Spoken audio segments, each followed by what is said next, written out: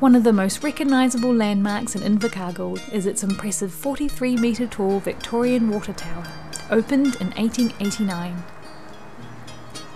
When the township of Invercargill was first settled in the late 1850s, most of the residents got their water from the Otepuni Creek.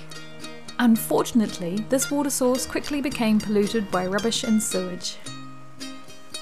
Due to Invercargill's water table, residents found the shallow wells in their backyards could provide an adequate water supply. This method worked well until the township started to expand.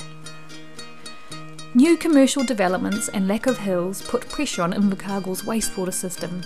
Polluted water festered in drains, creating a breeding ground for disease. Waste leached into the ground, making well water undrinkable.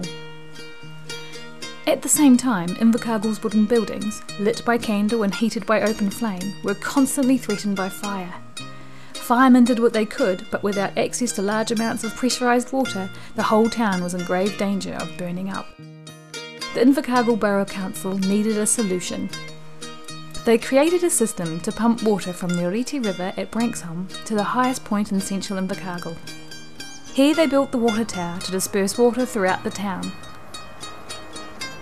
Designed by William Sharp as an aesthetically pleasing landmark for the town, the water tower used 300,000 bricks and cost £4,000 to make.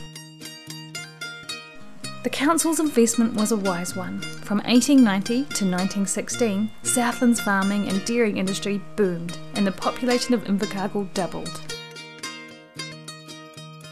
The iconic cupola was removed in 1934, but after it was registered as a Category 1 historic place in the 1980s, the cupola was restored. Today, a modern pump system reticulates water into the mains, but the tower is still occasionally used as a backup in the event of power outages. In 2012, public access to the water tower temporarily ceased due to earthquake safety issues.